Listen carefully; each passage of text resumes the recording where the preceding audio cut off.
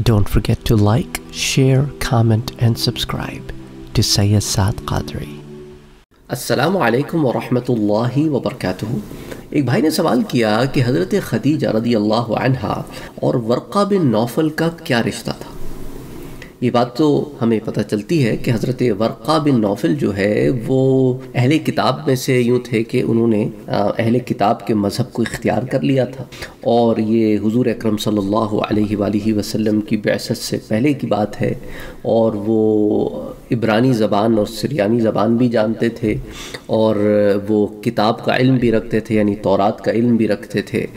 तो क्या वजह थी कि वो हज़रत वर्क़ा ही के पास गई? तो ऑफ़ कोर्स होता यह है कि इस तरह की सिचुएशन में इंसान सबसे पहले अपने रिश्तेदारों को ही अप्रोच करता है। अगर रिश्तेदारों में कोई साहिब इल्म हो और रिश्तेदारों में ना मिले तो फिर बाहर अप्रोच करता है, क्योंकि रिश्तेदारों के साथ बात करने में इंसान ना सिर्फ़ कंफर्टेबल होता है, फिर ये भी होता है ना कि वो आपके बात आपके रास को राज भी रखेंगे और बात आपको सही तरीके से अच्छा मशवरा देंगे as oppose to an outsider तो चूँकि हज़रत वर्क़ा जो है, वो साहिब इल्म थे इसलिए हज़रत ख़तीजा रदी अल्लाह तहा उनके पास गई तो और उनसे रिश्तेदारी भी थी। अब सवाल ये पैदा होता है कि रिश्तेदारी थी तो क्या थी और कैसे थी?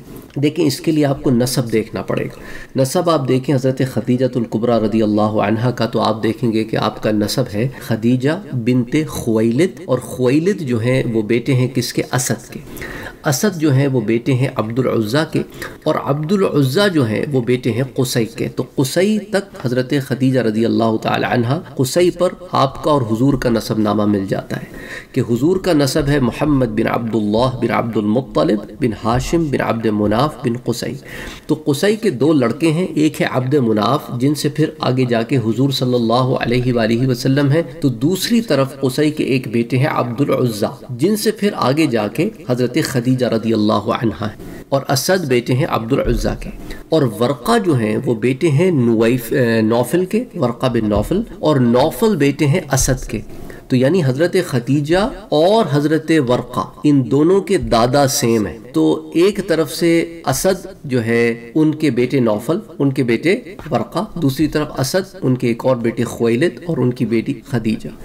तो वर्क़ा बिन नौफल और हज़रत खदीजा रदी अल्लाह तहा फ़र्स्ट कज़न्स हैं कि इन दोनों के जो वालिद हैं वो आपस में भाई हैं। तो इससे आपको अंदाज़ा हो जाए कि ये दोनों जो है चचाजात तायाजात ये रिलेशनशिप था और हुजूर अकरम सल्लल्लाहु अलैहि वसल्लम से नसब उसी पर जाकर दोनों का मिल जाता है।